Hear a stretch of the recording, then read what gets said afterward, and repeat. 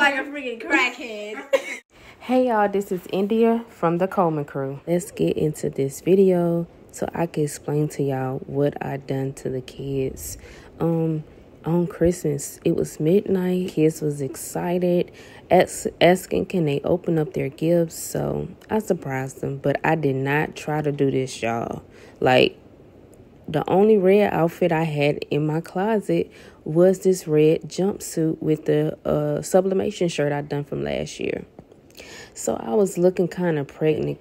Y'all, I promise. I, I, I was praying, saying, Look, God, this is not what I'm meaning. I'm asking for for this year because I have a five month yo. But anyways, yes, that was my baby's head.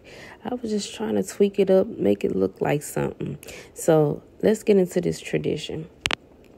This is what my mama used to do with us when we were kids. She used to dress up with a red jumpsuit, red robe, whatever she had red, y'all, and throw some white stuff on her face um, to make it look like Santa Claus. Hairy, bushy, like, you know, just for fun. And we would be asleep. And she would come in the room, um, wake us up, and send us in the living room with all our stuff laid out, right? So I was talking going in the closet because all my kids was downstairs. They was waiting on me to get out the the bathroom after taking a bath. They didn't know what I was in there doing. They was like, dang, mama taking forever.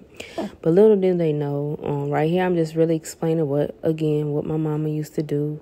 And I wanted to bring in that tradition this year or this Christmas. Um that just passed with my family in our new house. But I did not try to make it look pregnant again. I just showed y'all my baby. He was in the closet sleep.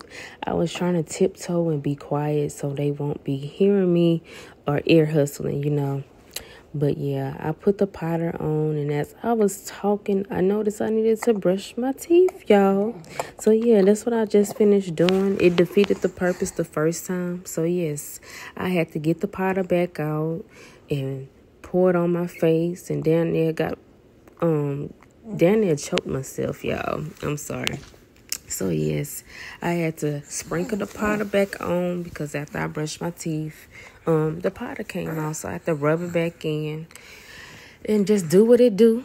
Yeah, I had to fan it. So my little hat was moving all over the place. But yes, yes, y'all. If y'all hear my baby in the background, I'm sorry. This is the only time I was able to do this voiceover. So y'all can tell I'm a little clean mama. Yeah, I got a lot of kids, but you seen what I was doing, wiping that little powder up out my bathroom. Mm-hmm. So yes, y'all, I'm about to call my husband to um get them lined up, get the baby, um, so that way I could be in there surprising them, y'all. So.